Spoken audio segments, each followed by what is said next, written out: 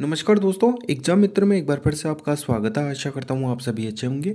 तो दोस्तों, AIIMS BSc nursing के लिए 21 सेशन के जिन कैंडिडेट ने एड्रेस एग्जामिनेशन दिया था, उनकी फ़र्स्ट राउंड काउंसलिंग और सेकंड राउंड की काउंसलिंग प्रोसेस कंप्लीट हो चुकी है। सेकंड राउंड में कितनी सीट वैकेंट रही थी और उसकी जो काउंसलिंग प्रोसीजर है, उससे रिलेटेड मैंने ऑलरेडी वीडियोज़ आपको प्रोवाइड करवा रखे हैं। अब आपका डाउट ये है कि क्या ओपन राउंड कंडक्ट करवाया जाएगा या नहीं करवाया जाएगा? अगर ओपन राउंड कंडक्ट होगा तो वो कब तक होगा? होगा या नहीं होगा?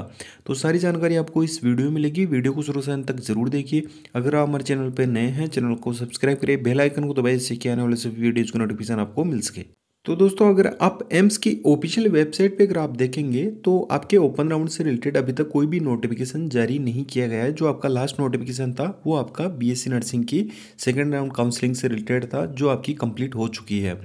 तो जैसा कि आपका ये डाउट है, काफ़ी सारे कैंडिडेट हैं, वो वेट भी कर रहे हैं कि ओपन राउंड में शायद उनका एडमिशन है, वो हो जाए एम्स के किसी भी इंस्टीट्यूट में।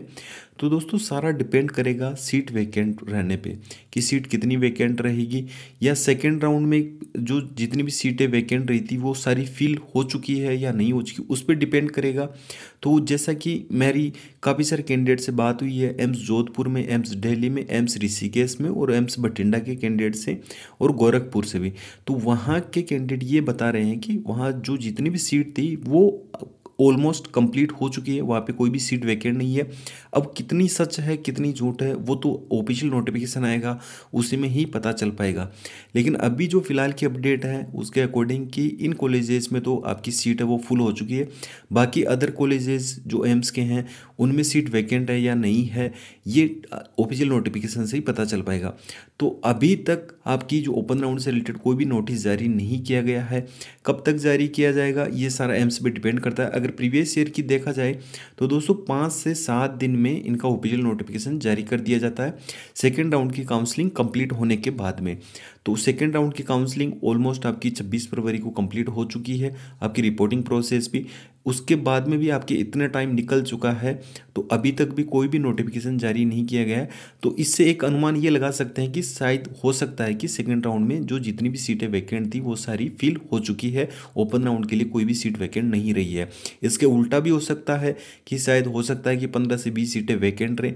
तो जो कैंडिडेट ओपन राउंड के लिए वेट कर रहे हैं तो उनके लिए तो काफ़ी अगर सीट वैकेंट भी रहती है, ज़्यादा आपकी सीटें वैकेंट नहीं रहेगी, नाम मात्र की ही रहेगी अगर रही तो।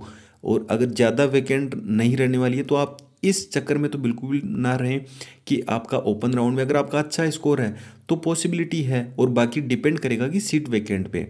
और ये मान के चलिए कि अगर पंद्रह से बीस सीटें ओवरऑल जितने भी इंस्टीट्यूट है, उनके अगर काउंट करके पंद्रह से बीस सीटें भी ओपन राउंड के लिए वैकेंट रहती है तो उसमें भी कंपटीशन काफ़ी टफ होने वाला है और उनमें जिन कैंडिडेट का अच्छा स्कोर का केवल वही एडमिशन ले पाएँगे।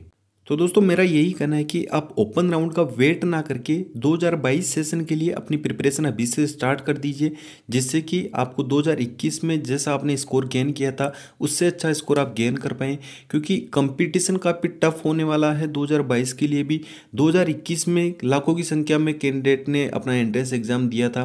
तो उनमें से बीएससी नर्सिंग की अगर बात की जाए तो 851 कैंडिडेट के लिए ही सीट थी। तो 851 कैंडिडेट अपनी सीट है अपना एडमिशन ले चुके हैं। बाकी की जो कैंडिडेट हैं, वो 2022 का एंट्रेंस एग्ज़ाम देंगे। साथ ही 2022 में वो कैंडिडेट भी पार्टिसिपेट करेंगे, जिन्होंने टेन प्लस टू अपनी ट्वेल्थ है, वो पास आउट कर ली होगी। तो वो भी पार्टिसिपेट करेंगे। तो इस बेसिस पे आप एक अनुमान लगा सकते हैं कि 2022 के लिए भी कंपटीशन कितना टफ होने वाला है। ईयर बाय ईयर आपका कंपटीशन टफ ही होगा ईजी बिल्कुल भी नहीं होने वाला है। तो जो कैंडिडेट अपनी प्रिपरेशन पहले से ही करके तैयार रखेंगे तो वो एम्स में अपना ईजिली एडमिशन ले पाएँगे। मैंने स्टडी मटेरियल ऑलरेडी आपको डिस्क्रिप्शन बॉक्स में लिंक के माध्यम से प्रोवाइड करवा रखा है। चाहे आपकी कंसेप्चुअल ई बुक हो ई बुक के माध्यम से ही सारा स्टडी मटेरियल आपको प्रोवाइड किया जाएगा। हार्ड कॉपी फॉर्मेट में नहीं प्रोवाइड किया जा रहा है। तो आप ई बुक फॉर्मेट में ही आप ऑनलाइन ही डाउनलोड कर सकते हैं। चाहे आपकी कंसेप्चुअल ई बुक हो, या आपकी क्वेश्चन प्रैक्टिस के लिए ई बुक हो, या आपके मॉक टेस्ट पेपर हो। या आपको अगर प्रीवियस ईयर क्वेश्चन पेपर हैं, उसके भी मैंने ऑलरेडी वीडियोस में सारी इन्फॉर्मेशन प्रोवाइड करवा रखी है। चाहे आपके हिंदी में हो या इंग्लिश लैंग्वेज में हो, मैंने दोनों लैंग्वेज में आपको सारा स्टडी मटेरियल प्रोवाइड करवा रखा है। अगर इतना स्टडी मटेरियल आपको प्रोवाइड करवाने के बाद में भी आप एम्स में एडमिशन नहीं ले पाते हैं तो दोस्तों ये आपकी तरफ़ से ही कुछ ना कुछ कमी रह जाती है, जिससे कि आप अपना टारगेट है वो अचीव नहीं कर पाते हैं। और साथ ही दोस्तों, जिन कैंडिडेट का ये एक इशू था, एक प्रॉब्लम थी कि सर आप इंग्लिश लैंग्वेज के जो कैंडिडेट उन्हीं के लिए स्टडी मटेरियल प्रोवाइड करवा रहे हो।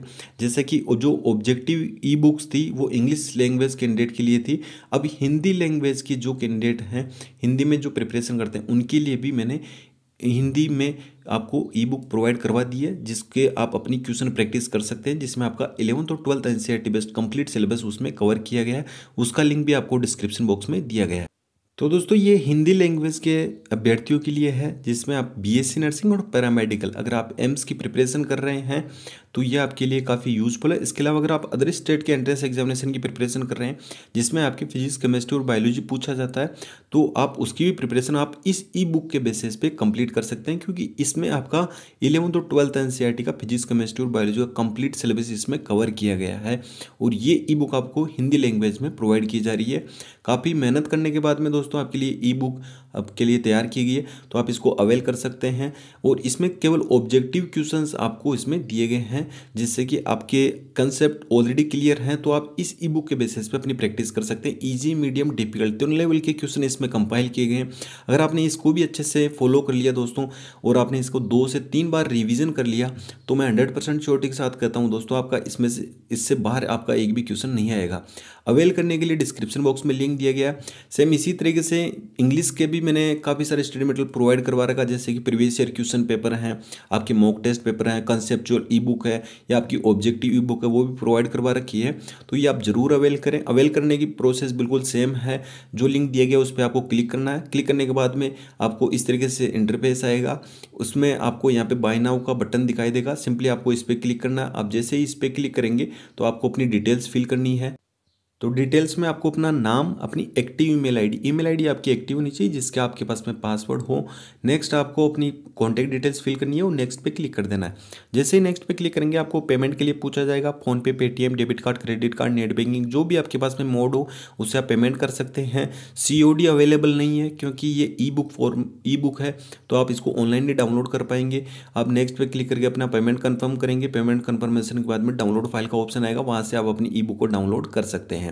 तो अब जो कैंडिडेट जिनका जो हिंदी लैंग्वेज में अपनी प्रिपरेशन कर रहे हैं तो उनकी प्रॉब्लम भी सोल्व हो गई है। वो हिंदी लैंग्वेज की ऑब्जेक्टिव ई बुक के माध्यम से अपनी प्रिपरेशन कर सकते हैं। कंसेप्चुअल हिंदी की मैं जल्दी ही आपको प्रोवाइड करवा दूँगा। तो उससे भी आप अपनी चाहे नीट की हो या अदर स्टेट की एंट्रेंस एग्जामिनेशन की, वो भी आप प्रिपरेशन कर सकते हैं। साथ ही एम्स की भी आप प्रिपरेशन कर सकते हैं। और mock test paper previous year question paper मैंने हिंदी और इंग्लिश दोनों लैंग्वेज में प्रोवाइड करवा रखे हैं। तो आप मेरे पुराने वीडियोस देख के उनमें जो लिंक प्रोवाइड करवा रखे हैं डिस्क्रिप्शन बॉक्स में तो उनके माध्यम से आप अवेल कर सकते हैं। कोई भी डाउट है, कोई भी इशू है कमेंट बॉक्स में पूछ सकते हैं। इंस्टाग्राम फॉलो करके वहाँ से भी जानकारी ले सकते हैं। इंस्टाग्राम का लिंक आपको डिस्क्रिप्शन बॉक्स में दिया गया है। और लेटेस्ट नोटिफिकेशन के लिए आप टेलीग्राम ज़रूर ज्वाइन करें। उसका लिंक भी आपको डिस्क्रिप्शन बॉक्स में दिया गया तो वहाँ से आपको अगर कोई भी लेटेस्ट अपडेट आती है, उसका नोटिफिकेशन आपको टेलीग्राम से भी पता चल जाएगा। चाहे कोई भी स्टेट हो सभी स्टेट की इन्फॉर्मेशन आपको हमारे चैनल पर देखने को मिलेगी। तो आई होप दोस्तों आपके जो भी ओपन राउंड से रिलेटेड जो डाउट था वो सारे क्लियर हो गए होंगे। अगर ओपन राउंड में आपका कोई भी नोटिफिकेशन जारी किया जाएगा तो आपको हमारे चैनल पे वीडियो माध्यम से जानकारी प्रोवाइड करवा दी जाएगी। मेरा यही कहना है कि आप ओपन राउंड का वेट ना करके आप अपनी 2022 की प्रिपरेशन अभी से स्टार्ट कर दें वेट ना करें। एप्लीकेशन फॉर्म कब से स्टार्ट होंगे? अगर आप अभी से अपनी प्रिपरेशन स्टार्ट करेंगे तो दोस्तों आप डेफिनेटली अपना जो एडमिशन है, वो एम्स डेली में भी सिक्योर कर पाएँगे। अदरवाइज़ आप सोच विचार करने में ही टाइम वेस्ट करेंगे तो आपकी जगह, आपकी सीट है, वो कोई और कैंडिडेट ले जाएगा। आप जिस टाइम पर सोचने, विचारने में अपना टाइम वेस्ट करें, उस टाइम पर कोई अदर कैंडिडेट है, वो अपनी प्रिपरेशन में लगा हुआ होगा। तो सारा सब कुछ ये आप पे डिपेंड करता है कि आप अपना कैरियर है, वो किस वे में लेकर जाना चाहते हैं, और अपना टाइम है, वो किस तरीके से यूटिलाइज करना चाहते हैं। तो आई होप दोस्तों, मिलते हैं नेक्स्ट वीडियो में नेक्स्ट न्यू अपडेट के साथ में। धन्यवाद, जय हिंद, जय भारत।